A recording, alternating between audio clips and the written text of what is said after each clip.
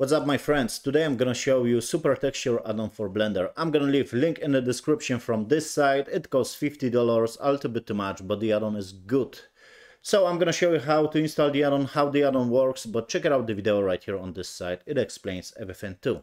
So, open Blender, go on the edit preferences on the add-ons, choose install and search for the zip file that you download. Select right here the box and choose save preferences.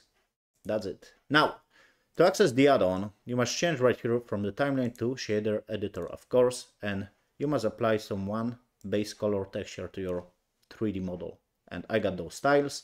To access the add-on, click N to open the side window, and you just click right here, apply. This automatically creates bump node, normal, roughness, yes, all the good shit. And you got all the controls right here. So I'm gonna show you, I'm gonna make it bigger a little bit. So I got right here the roughness, the controller. Look at the styles. Oh my god, what a roughness. Cool shit. I got the normal size, yes. So I can play around on this stuff. stuff. I got the normal strength right here, yes. Height level. This is so cool, guys. Uh, height contrast. Oh my god, look at this. This looks like shit.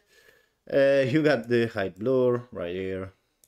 And another option. So this add-on is fucking amazing. And that's it. If you are not satisfied, just click remove.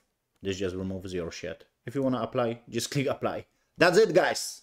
It's very simple add-on. It's cool, like I said, because creates all the uh, nodes right here is the roughness map basically from one image from base color.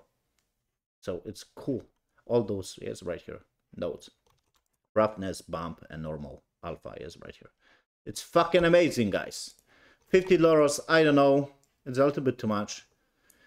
Uh, I would pay like five bucks for this or seven bucks, but whatever. Check it out. This site, link in the description. Seven out of ten. It's pretty good add-on. It's cool add-on, guys. Subscribe if you like this content. Bye, guys.